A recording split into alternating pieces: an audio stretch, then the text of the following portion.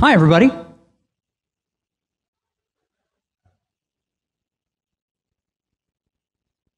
So, I'm Chris Haskell. I am a proud Portland native who is transplanted to, of all places, Boise State University. I teach teachers. Um, I'm a, a researcher and a gamer, and I think that we should blow up the gradebook. It's about time.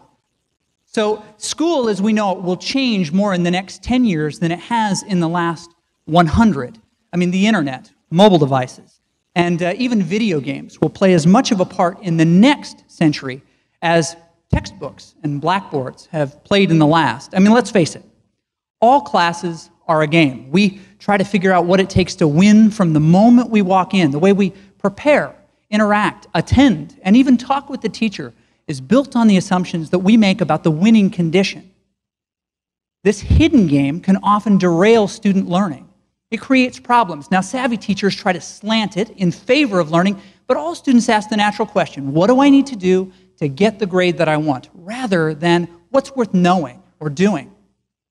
It's this game that keeps students guessing. We deliver a quiz to force students to uh, study. We, we punish them when they make mistakes.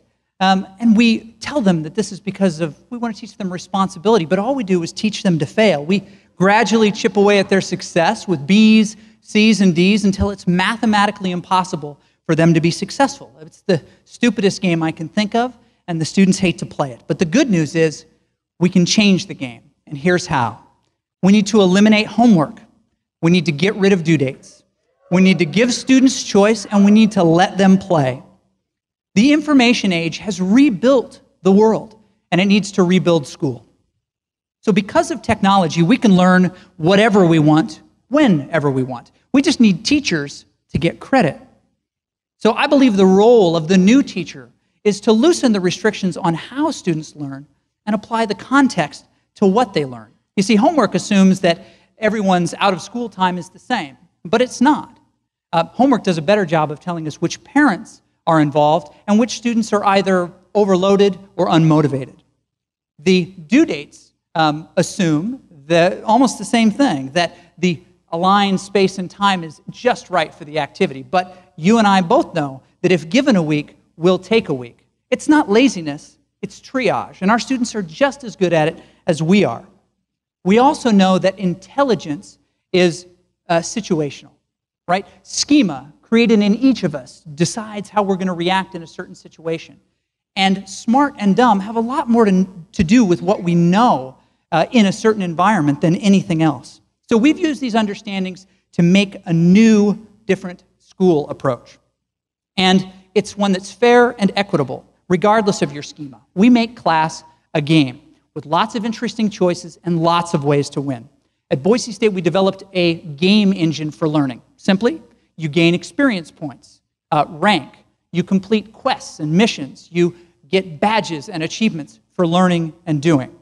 In this approach, students make their own interesting choices through a broad selection of curriculum tied to standards. They choose the what and how, and we as teachers apply the meaning to that.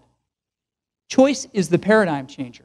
That's the key. It really is. We're moving from a completely dictated curriculum, like the one that you and I uh, were engaged in, to one built on choice, where the teacher creates, filters, or finds the activities, and the students choose them based on their own schema.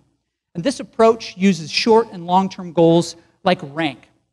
It allows students to level up and get access to new curriculum. It tracks what they know and can do with badges and achievements. In two years of research, Thousands of students have participated in this approach with fabulous results.